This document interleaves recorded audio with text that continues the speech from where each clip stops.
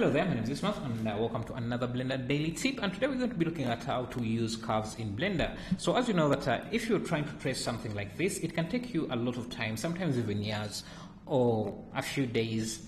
Uh, but uh, if you're going to use my trick, uh, it can save that time from years uh, to a few days or a few seconds, maybe not seconds, but uh, yeah, a few a few minutes. So let's trace this out very quick, and uh, just so I can show you the trick. So let's add a curve. Shift A curve, a Bezier curve. I'll rotate this to face me, and yeah, this is what we have. So you want to change this to a so let me just show you the usual way how people usually do it. Uh, they just uh, control control right click add a, to add a control point there or just hit E and then they start rotating these control points and scaling them down until they conform uh, to the shape they want. Uh, that is tedious and uh, can be time consuming to get it right but uh, uh, the easiest way I've found is uh, just have two points like this, convert the curve into a vector handle type by hitting V, oh, I think there is an option here. Now, I don't know, it's not there, but uh, yeah, just hit V uh, to change the control points. I think I remember, yeah, so if you right click, you can go and uh, set handle type and do the, and find uh, the setting there, but uh, if you hit V, you will get uh, the setting directly there through the shortcut. So change them to a vector so that you so vectors are just corner points like this and I extrude them using E and to get uh, those. So we're going to trace this out uh, in a very low polygon way and then come back to it and uh, change the control points and turn them to curve to curves where we want to where we want bends and uh, retain uh, the corners where we want uh, to have corners. And I found that is the fastest way to uh, to get what you want to trace out any object. So I'm going to, you want to trace out the peaks or the, the points of interest. So, so the peak here uh, for this curve here would be here. Uh, as you can see, it would be around here and then extrude this to that and then to another peak around there like that like that. I'm not going to be super detailed uh, for this dragon here because uh, uh, it will take a lot of time and this is a simple tutorial that I don't want to take a lot of time. And uh, so I won't do all these here so I'll just push that to here then there then I won't do that.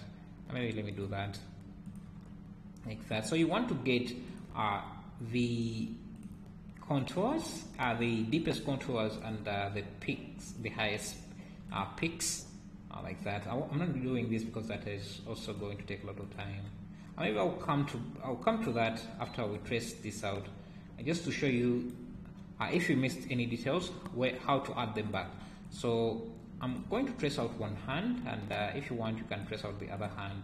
So just go for the highest peaks and the deepest contours and uh, add points uh, like that. I'll just skip the other hand.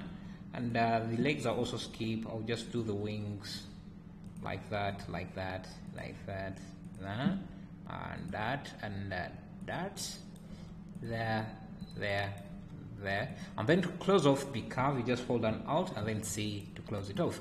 Uh, so now to have to have this bend just select uh, that corner and then uh, hit V or right click to set the handle type to a different handle type. So V uh, we want this to be you can start with that with automatic. Uh, that should give you a baseline to start from and then start playing playing around with the handle types. Uh, when you when you move one handle type of, uh, of an automatic handle type, it would convert that into an align uh, handle type. So that's why you saw it changed color. Now you can just come in and start changing or playing around with the handle types,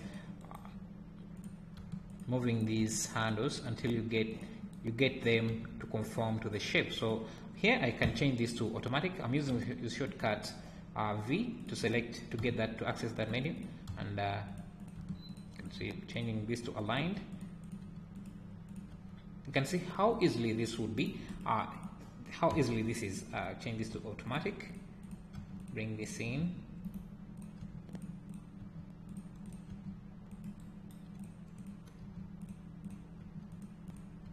So sometimes these uh, kind of bent arrows or normals get in the way and uh, you, you may not be able to see what you're doing. So if you want to switch them off, just go under the overlays and uh, switch off uh, the normals so that you can clearly see what you're doing.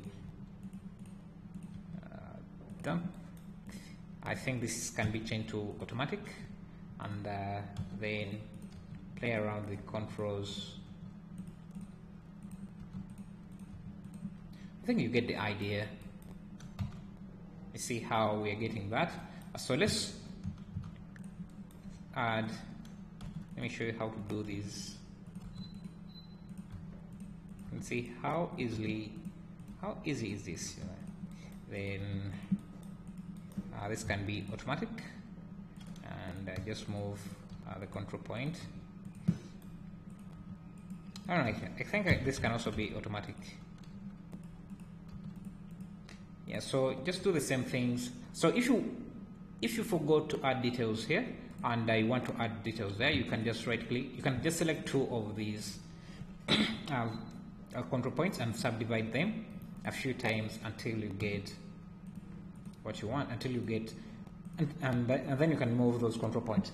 Uh, I think if you select the segments like this and then hold control right click uh, okay so just that just uh, duplicates it I think in 2.7 you can add points.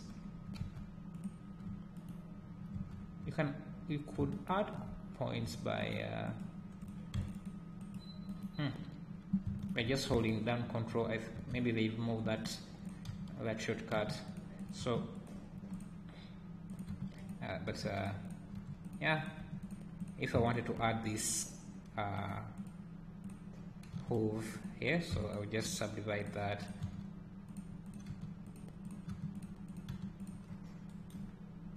I'm not doing the other parts you can do them uh, if you want. Uh, that's how you use curves and uh, if you want to give it volume uh, you can change this from 2D from 3D uh, for some reason 3D doesn't support uh, filling in the shape but if you change it to 2D it should give you uh, the shape and for some reason it's not. Let's make sure that uh, we have this the entire shape is closed. Oh I think hmm. Let's see.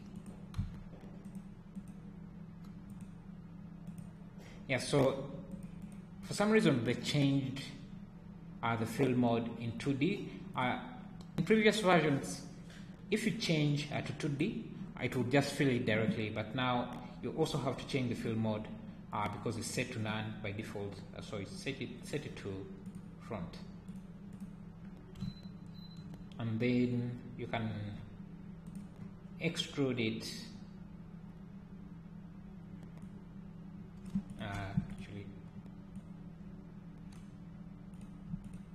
uh, extrude it and then if you want you can even add bevels like that and uh, yeah you can see what we have there. Thanks for watching. Uh, leave a like subscribe. See you